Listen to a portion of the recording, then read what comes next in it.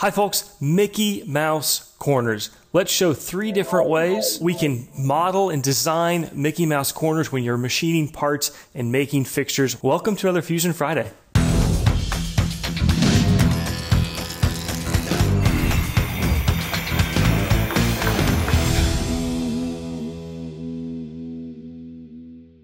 So what are Mickey Mouse corners?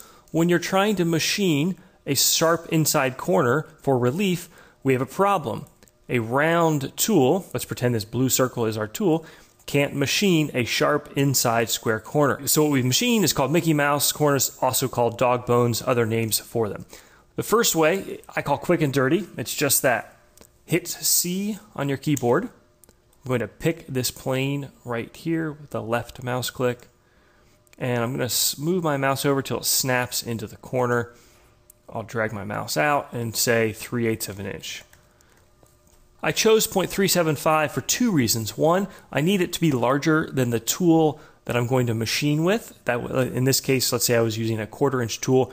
You don't want to fully engage or load the tool up when you come in here. But also, the second reason, which I'll show you after we extrude it. Hit E for extrude, click on it. Now, instead of typing in a dimension, move up here to your extent Change it to to object.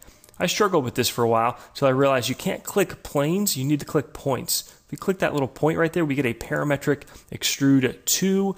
Click OK. We've now got a quick and dirty Mickey Mouse ear. The other reason that we've got to make that a larger diameter is if we hit I on our keyboard, I click this point and that point, you can see that that opening right there is only 265. So it's actually going to be pretty tight for a quarter inch tool to get through the opening. Yes, it will work as a Mickey Mouse corner. As you can see, there's plenty of relief around the sharp, uh, the, the bottom left edge. The other thing I like about this is if you were going to use a drill and poke it out, again, makes it pretty easy to do. And in that situation, if you drilled this hole first, you wouldn't even have to come in here with an end mill and machine it out. But it's also the less elegant one. Now, debatable which of the next two are better. This is a really good method though, and it's one that we used in our Wednesday widget when we were showing making the KTM motorcycle part. To start off, L for line, click on my face. I'm going to sketch a line straight down. Notice we've got that guy right there, which is the same as the horizontal vertical. So that line is locked. I actually can drag it up and down, but it's locked in place vertically. C for circle, just somewhere over here, I'm going to sketch a 0.25 inch circle. Actually, you know what? We'll make it a little bit bigger, 0.265. Tangent. And after I click tangent, I'll click on the circle first, and then I'll click on this line. So I've got a 265 circle that I can move up and down along that line. I could say coincident the center point of the circle I want to be coincident with this line.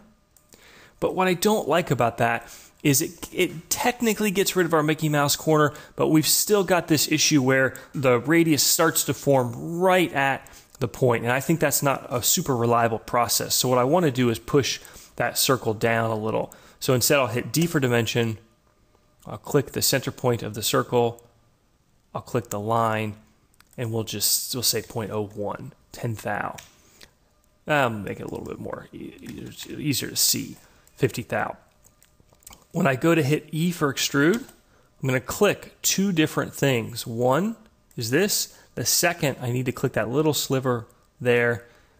Same thing, I'll change the extent from distance to to object, orbit around, and I'll click that point. Click OK. Now we've got a problem. We've got this sort of gnarly sharp corner. No big deal. S for keyboard shortcut. F-I-L for fillet. If you don't know which one it is, just take a look at the icon. That's a sketch fillet. You can see the little black line, sketch. This is a solid model fillet, which is what I want here. Click on that. I'll click on the line, the sharp edge there, and say 0.05. Boom, you're done. This actually works really well as a Mickey Mouse corner, and it's something I've seen a lot that's done in industry. So again, if you drag a box around here, you can see we're not going to have any interference with our part.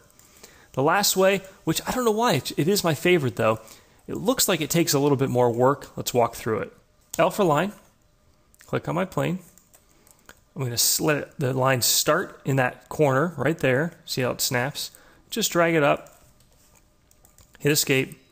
D for dimension. I want this line and this edge here to be 45 degrees apart. Now I don't want this line for the what we're doing. I just want it as a construction line. So click on it once. I hit X, but you can also click normal construction. C for circle. I'm going to click. In this case, I will let it snap to the line. Sometimes I like to click that up here, create it, and then say coincident. The center dot of the circle to the line. We'll do it on the line this time though. C for circle, I get the snap point, and we'll say again 265, just a hair oversized from our quarter inch tool. So the idea here is I've got a tool or circle that I can show just how little of a Mickey Mouse I need to create to clear the corner, the corner being that point right there. So I don't need to go all the way down here, kind of like we did in our quick and dirty. I can go really right there. Now, the same thing where I could say I want coincident circumference of the circle with that, but that's the problem too, where you've actually got uh, the slight issue of, of a sort of tangency between the two. Not a very reliable way to do it. Fusion, luckily, just came out with a new dimension that helps us do this. I'm going to hit D on my keyboard. Now, before I click anything, right click and change pick circle or arc tangent. So that's going to drive this dimension off the outside of the circle relative to that point, which I'll click on second, which is exactly what I want. And we'll say 0.01, enter. A lot easier, in my opinion, of doing that than the old way, which we had to click from here to there, which is going to tell me it's over constrained here, obviously. So that's a great method. E for extrude, click our shape, to object, click there, click OK. I would also still recommend SFIL, adding some fillets just to avoid edge breaks. 0.02 is plenty, or 0.025 won't look bad at all. And that's, a, I think, a cool way because you're going to spend less time machining. You're going to create a smaller fillet. A smaller fillet is as practical or as needed, and you're going to have less in some cases, less material removal, potentially more strength to your fixture. That's all a good thing. If you notice, by the way, that my Fusion was behaving just a little bit different than yours during this video, go to your name, preferences, and under design, I have turned off two things auto look at sketch and auto project geometry on active sketch plane. What are those two things? Auto look at sketch is changes the fact that when I now hit C for circle and I click on this sketch, notice how it doesn't automatically do what's called orient the model normal to the sketch plane. I don't always like that. I'll show you. If I'm trying to look in here to Nook and Cranny and start a sketch, and I have that turned back on, C for circle, click here. Oops, stop sketch. There you go. It moves moves you around. That can be really disorienting sometimes when you're trying to understand and follow some design details. The other option is auto project geometry on active sketch plane. This is a I don't like this because I like using the project command when I want it. Let's give you an example. Let's create some circles in this and a rectangle too. And I'll extrude these out. So we've got some shapes and geometry. I've turned auto project back on. Now let's say I hit C for circle and I click on the same face. Now let's say I want to do some work right here.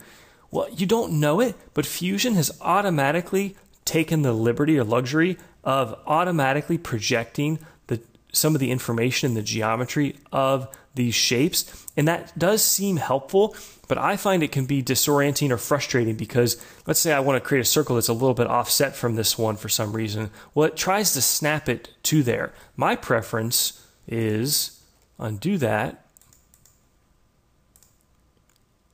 turn that setting back off.